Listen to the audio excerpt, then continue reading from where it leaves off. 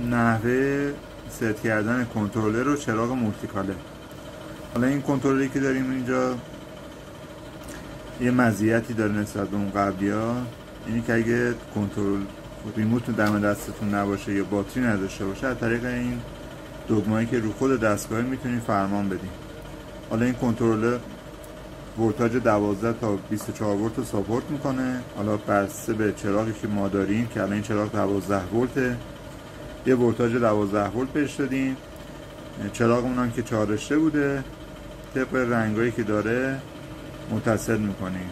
بی آبی و سبز و قرمز و این چراغ ما که مشکیش حکم مثبت رو داره پس وی مثبت. حالا تستش رو انجام میدیم. دگمه آن آف که مشخصه حتما بزنیم. پلی میشه.